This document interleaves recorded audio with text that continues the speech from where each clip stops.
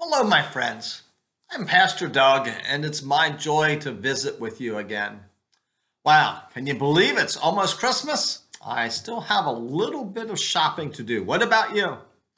I hope uh, you're really uh, looking forward to um, some time with family and friends. Uh, before I get started today, just wanted to uh, give you a quick update on my sister. Uh, in fact, as we speak, uh, Terry is having another um, chemo treatment. Um, kind of a challenge uh, this time for her as she's undergoing um, this treatment during uh, this time of holiday. Um, but say just uh, thank you for your prayers and your support uh, of her uh, through this uh, long time of treatments and surgery. Um, after this particular round of treatments, she just has two more treatments left.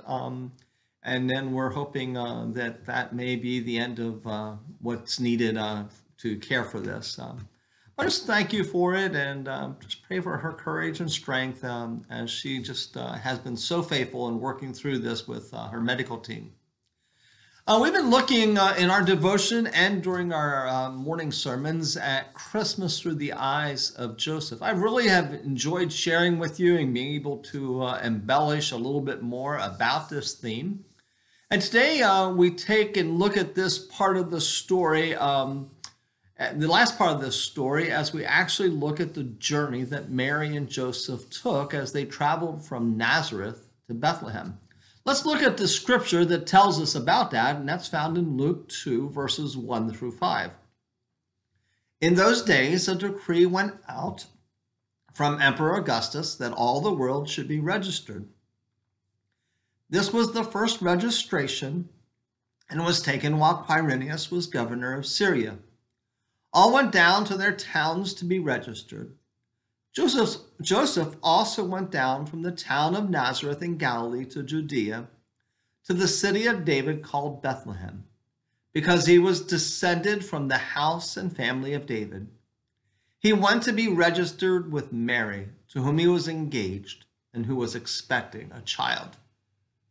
You know, we don't often talk about the actual journey, but I believe from studying um, about this journey and reading uh, Adam Hamilton's book, um, that it probably was about a nine day journey for them uh, to cover this 70 mile trip.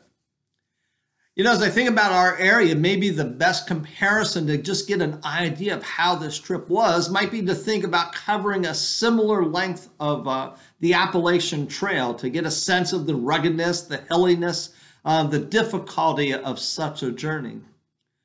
But no matter how you might want to think about it in your mind, we just want to get a clear picture of what those days actually looked like leading up to Jesus' birth uh, for Mary and Joseph and the difficult journey that they took. The other thing that seems obvious but is worth just us pausing and remembering is just how uncomfortable Mary was was at this point in her pregnancy. As we were talking about this during our in our Sunday school class last week, all the mothers remind us that how just how amazingly tough those last few weeks of pregnancy are. And they couldn't even imagine getting on a ducky for such a journey. I just very recently read a devotion about a young mother who lived out in the country and had over an hour's drive uh, to the hospital. When she finally went into labor and drove by car to the hospital, she said she couldn't believe how uncomfortable that ride in the car was. And then she began to try and think then how courageous and strong Mary must have been to take such a long journey by foot uh, over such a hilly and dusty terrain we begin to get a sense of just how strong and, and faithful Mary was to work through all of that. And then we don't want to lose we don't want to lose sight of why they had to take this trip in the first place. Because there was a census that the Romans demanded. It wasn't merely a head counting like we think of a census, but it was how they came up with taxation. And it was deter- it was something that was not optional. If Joseph didn't go, he risked serious penalty. People like Joseph could be imprisoned, they could lose their property, be scourged, or even put into slavery. And so for Joseph, there was a real urgency to return home and to comply with this edict. Now, the thing that I want us to ponder is how do we respond when you and I have to take unwanted journeys?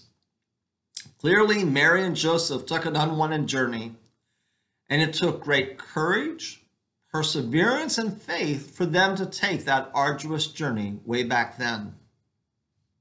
But you know what? When we think about our own lives, we too take on unwanted journeys. Maybe perhaps when we have to move to a new job, when we go through a divorce, when we have cancer, when we lose a loved one. Those are all examples of unwanted journeys. How do you and I respond? How can we learn from Mary and Joseph and their story?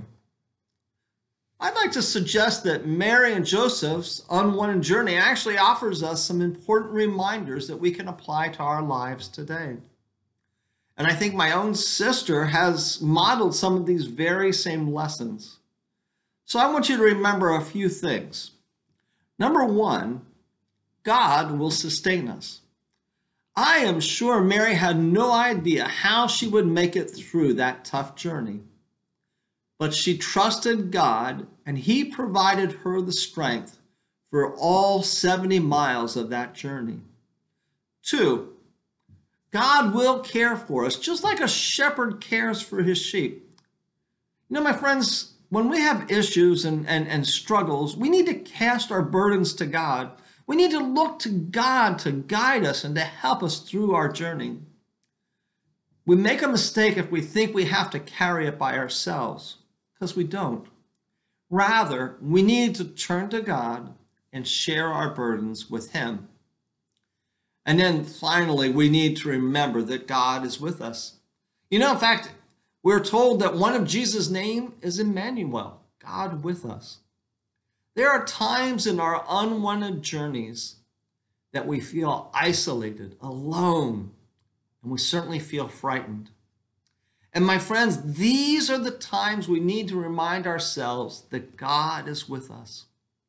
These are the times we need to go to God in prayer and tell God just how we feel and ask Him to comfort us, to care for us, to strengthen us, to just help us under, to help us get through that challenging moment that we're facing. And I think one of the ways we get through those moments is by reminding ourselves that we're not alone, but that God is with us. And you know what's the good news, my friends? Mary and Joseph safely made their way to Bethlehem, not on their own, but with God's help. And you and I will also find our way through unwanted journeys as we turn to God who will sustain us, care for us, and most importantly, be with us all the way.